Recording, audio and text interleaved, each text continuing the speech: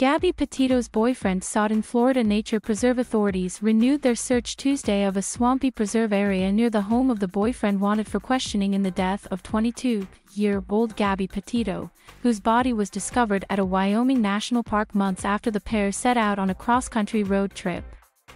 Police in North Port, Florida, said Tuesday morning that investigators have returned to the Carlton Reserve to look for Brian Laundrie, 23. Investigators searched the 24,000-acre Florida Nature Preserve over the weekend without success. They focused on the area after Laundrie's parents told police he may have gone there. On Monday, the FBI went to Laundrie's parents' home in North Port and removed several boxes and towed away a car neighbors said Laundrie's mother typically used Laundrie, and Petito had been living with his parents at the North Port home before the road trip on which she died. The young couple had set out in July in a converted van to visit national parks in the West. They got into a fight along the way, and Laundrie was alone when he returned in the van to his parents' home September 1st, police said. In Wyoming, the FBI announced Sunday that agents had discovered a body on the edge of Grand Teton National Park which the couple had visited. No details on the cause of death were released.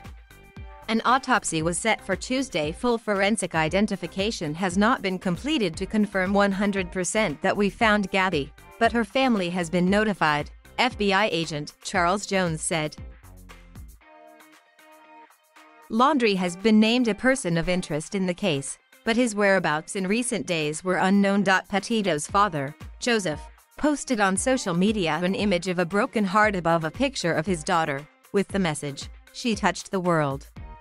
In an interview broadcast Monday on TV's Dr. Phil show, Joseph Petito said Laundrie and his daughter had dated for two and a half years, and Laundrie was always respectful.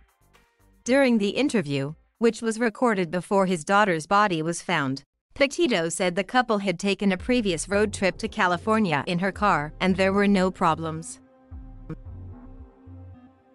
Joseph Petito said the family began worrying after several days without hearing from their daughter. We called Brian, we called the mom, we called the dad, we called the sister, we called every number that we could find, Joseph Petito said.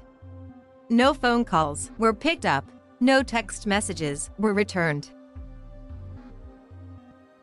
Joseph Petito said he wants Laundrie to be held accountable for whatever part he played in his daughter's disappearance along with his family for protecting him. I hope they get what's coming, and that includes his folks, Joseph Petito said. Because I'll tell you, right now, they are just as complicit, in my book.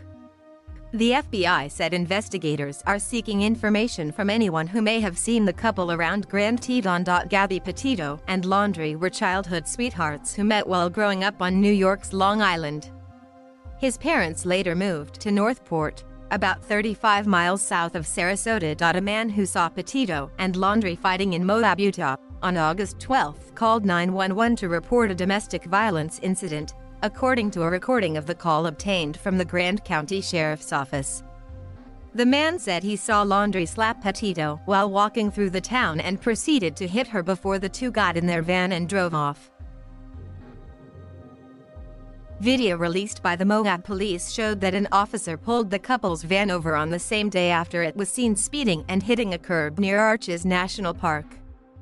The body camera footage showed an upset Petito. Laundrie said on the video that the couple had gotten into a scuffle after he climbed into the van with dirty feet. He said he did not want to pursue a domestic violence charge against Petito, who officers decided was the aggressor. Moab police separated the couple for the night, with Laundrie checking into a motel and Petito remaining with the van. In the footage, Gabby Petito cried as she told the officer she and Laundrie had been arguing over her excessive cleaning of the van. She told the officer she has no OCD, obsessive compulsive disorder.